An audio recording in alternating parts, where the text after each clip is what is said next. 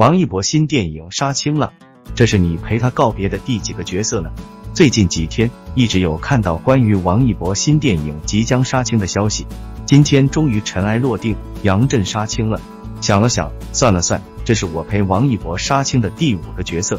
我是在那个热血澎湃、又心意难平的夏天喜欢上王一博的，马上也要两周年了。谢允是喜欢上王一博后陪他一起经历的第一个角色。开机，种种波折，历时八个月杀青。还记得那时粉丝庆祝杀青就庆祝了三天，现在回想起来，既傻的可笑，又温暖感动。而王一博也没有让人失望。谢允这个角色，王一博演绎的非常成功，那种脆弱感非常共情。就像一位粉丝说的那样，我时常想起谢允，想摸摸他袖子，看里面是凉薄的空气，还是带着温度的鲜活生命。所以啊。因为他是王一博，所以为他做尽傻事，好像也是值得纪念的里程。陈宇就是第二个角色，也是目前最最期待的。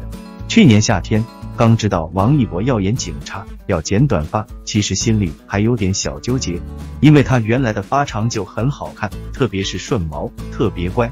再短还真不好预测，但还是尊重他的选择，毕竟是为了角色，这是演员的基本素养。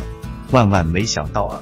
短发的陈宇刚出现的时候，我的天哪，这是谁家的宝宝？短发王一博也太幼了吧！这孩子咋越长越小了呢？来说说，有多少人跟我一样，瞬间披上了妈粉皮？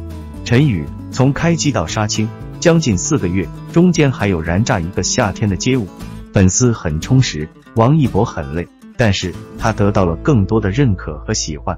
剧组的导演、演员前辈。